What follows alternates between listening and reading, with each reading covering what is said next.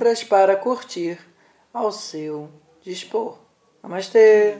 Agora a gente vai passar para o nosso quarto é, aspecto é, nesse formato que a gente está fazendo sobre como é que esse treco dos mantras se minimamente relaciona com o que a gente normalmente chama de yoga.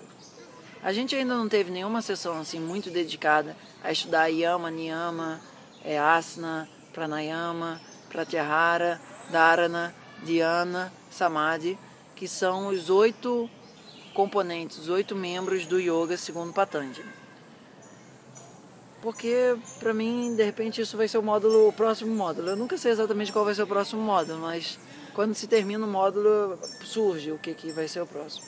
Mas, basicamente, eu acho que é válido a gente dar uma é, pincelada sobre por que, que o mantra ele é tão importante em qualquer coisa que você vai fazer dentro do yoga, dentro dessa perspectiva e dentro das outras perspectivas também, que a gente vai ver.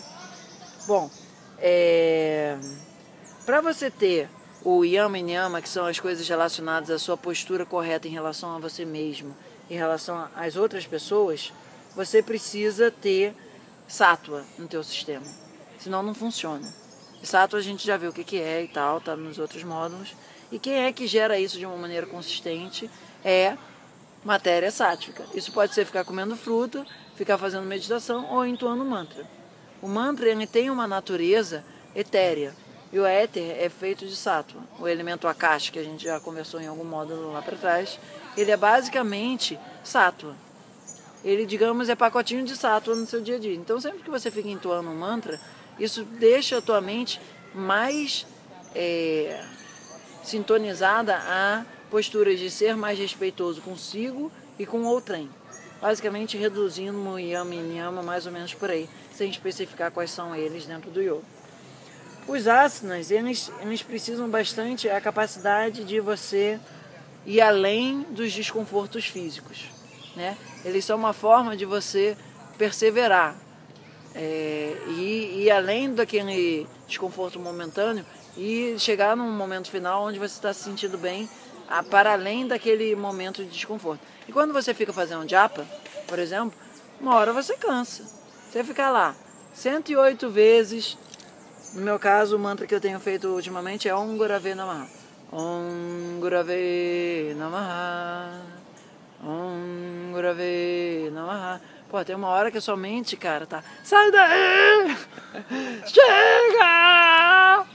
Mas assim, você mantendo essa disciplina, isso permite quando você está no yoga, você inclusive usar mantras. Você pode ter mantras específicos para a prática de alguns asanas que vão fazer aquilo dali a tua mente ficar mais resoluta em torno de um propósito. Então ele aumenta a tua capacidade de é, perseverança. O, principalmente a forma de, de japa, né? O mantra, ele acredita -se que para ele ter um efeito terapêutico mais consistente, ele precisa ser entoado 11 mil vezes. Por que do 11 mil vezes hoje? Vamos deixar por aí, 11 mil vezes, número cabalístico tal. Isso significa fazer 108 vezes, no mínimo, uma vez por dia, durante uns três meses. Então, sempre que você faz uma sessão de idiotes de astrologia védica, vira e mexe, você sai com mantra. Se você der sorte, você sai com Bidya Mantra, que é só tipo é, Kshan, Lam, Van. Aí fazer 108 desses é super de boa. Mas quando você pega aqueles tá, caraca, meia hora fazendo mantra. Mas isso já é para umas pessoas que têm uma vivência de cultura mântrica muito avançada. Eu demorei um tempão até começar a achar que valia a, a ideia de testar a possibilidade de fazer um mantra, uma mantra terapia nesse sentido. E olha que eu já fazia minha meditação que usa mantra durante um tempão. Então essas coisas levam tempo até ter sato suficientemente dentro de você para reconhecer naquele mantra assim, amiguinho, oh, vem cá, tá? É, em termos de pranayama, é, o, o mantra, como ele é uma manifestação do VAC, o VAC está relacionado ao prana, ele carrega prana dentro de si. Então, quando você faz o, o pranayama, em algum grau você está manifestando prana. E pranayama significa muito esse método de é, consolidação do prana dentro de você. O pratyahara é uma noção de você ter uma capacidade de direcionar o ar, o macacão, Legal. É, por exemplo, eu estava falando aqui, aí passou o macaco, meus sentidos foram para lá, isso não é pratyahara. Pratyahara é você estar tá com um foco só numa coisa durante um tempo, independente do macaco ir lá, teu foco está aqui. É a tua capacidade de manter o foco diante de distrações. Os vatas, assim, adorariam uma solução para a vida deles, que estava fazendo um negócio aí no teve Facebook é, ou qualquer coisa no meio do caminho. Então, como é que você usa o mantra em termos de pratyahara? Normalmente com o yantra também. O yantra é a forma geométrica do mantra. Como é que essas formas se relacionam, não vamos tanto aí. Mas cada mantra gera um yantra. E o yantra do Om, que é o mais famoso, como é que vai ficar no vídeo? É aquele assim. Então, esse é o yantra do Om. Quando você fica de alguma forma focando naquilo ali, fazendo Om, botando seu foco de consciência ali, aquilo vai gerando capacidade do teu sistema, para além dos macacos. E na cultura védica é bem isso, né? É, os sentidos são como macacos puxando a gente. Foi legal ter esse exemplo vivencial aqui. Porque passa o macaco ali e você tá. Um, você até observa, mas o teu sistema está fixo, ele está estável num ponto. Então esse, essa forma de você fazer mantra com bindu, com um ponto focal, é ótimo como pratyahara. Aí passa o macaco lá em cima e você tudo bem, deixa o macaco lá. É, em termos, o próximo etapa do, do Patanjali é Dharana. Dharana significa dar sustentação. E quando a gente faz é, os mantras, além de trazer uma, uma conexão com nossos aspectos mais internos, porque a tua mente vai descansando e você começa a se escutar de uma maneira mais profunda, ele também vai alimentando esses locais. E alimento, de alguma forma, dá sustentação. Saco vazio não se mantém em pé. Então, nesse sentido, ele alimenta o nosso psique também e ela se torna mais capaz de enfrentar situações de estresse. Então, você ganha crédito é, prânico na sua conta. Quando vem uma situação estressante que consome prana, o teu sistema fala, opa, vai lá na poupança que tem uma poupança lá que segura as pontas aqui. Pelo menos durante um mês a gente está com aquela poupança que aguenta as pontas. E o Diana, o dhyana ele é basicamente a parte de contemplação. Quando você faz o mantra de uma maneira assim mais de satsang, que você não está querendo mais entender exatamente o que é aquilo, você tá, só está ressoando aquilo de uma forma contemplativa, você está fazendo dhyana, em um certo sentido, que é você está observando o que, que aquela música te traz, você está observando através de um, um elemento que é consistente e suave, como é que sua mente está se comportando. O samadhi, o samadhi já está dentro daquele estilo de mantra que a gente falou de mais de moksha, no sentido de ser um mantra super mega power, é, energizado por um guru ou por uma pessoa com uma vivência já muito mais transcendental, que pega aquilo dali e put, na tua mente rapidinho ela entra num estado de é, desidentificação bem rápido. É como que você entrasse um é aqueles mantras que você fica usando o cara no frentista, outro é aquele mantra que vem com aquele carro para dentro daquele lava-jato, em dois segundos o carro saiu limpo dali. Então, esses mantras são mais ou menos nesse sentido. Só que o yoga não é só essa forma estabelecida é, classicamente pelo Patanjali. Isso é uma das formas de entendimento do yoga. O yoga também é entendido numa forma mais de Bhakti Yoga, Jnana Yoga e é, Karma Yoga, que são, digamos, os três tenets, as três vias mais é, conceituais do como é que você pratica yoga. Você pratica yoga através da devoção, através do discernimento ou através da é, ação, né? Então, quando você tem um mantra muito relacionado a Bhakti, por exemplo, a tradição Vaishnava, com o cântico do Hare Krishna. Hare Krishna, Hare Krishna. Ou o pessoal da Nanda Marga. Babanam, Babanam, Kevalam.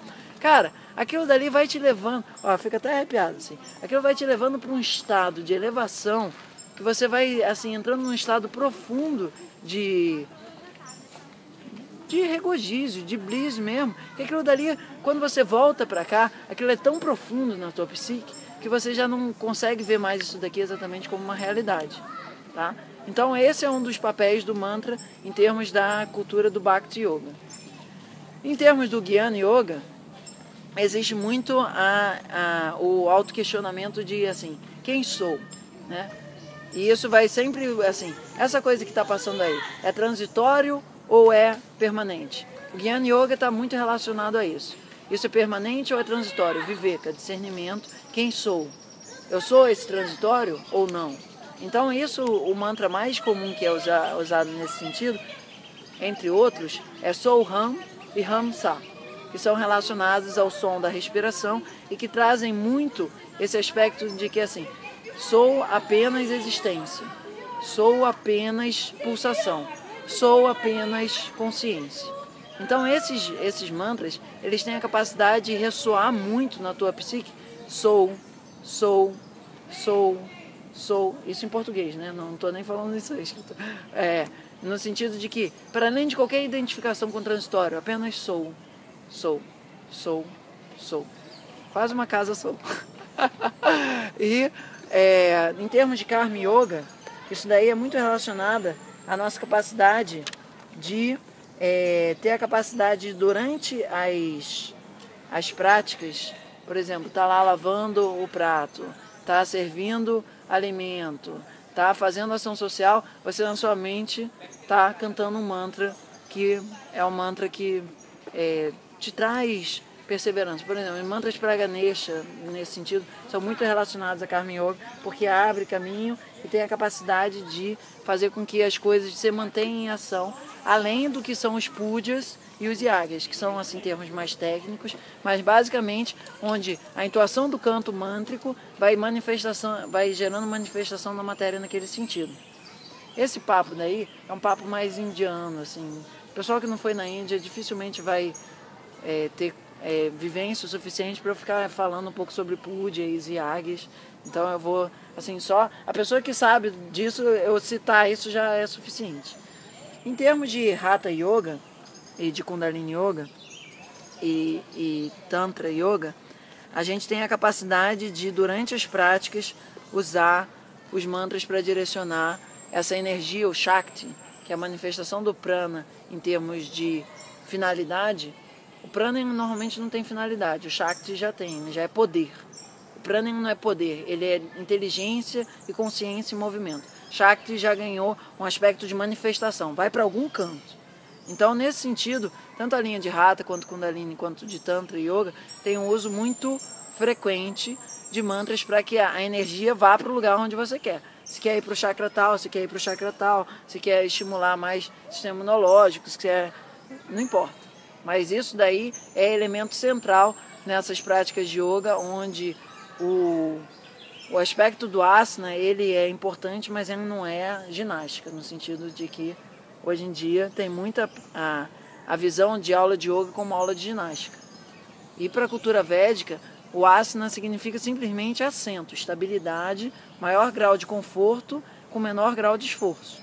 Ele é uma etapa super importante para você entrar nos, é, nos limbs, no, nos ramos mais interiores do yoga, mas está longe de ser ponto de chegada ok? Então esse quarto é, speak aí é mais relacionado a como a prática de mantras pode estar ou está já presente em relação a diferentes formas de se praticar yoga. Beleza? Show? Muito bom. Beba da fonte do conhecimento e transforme sua vida em algo muito melhor.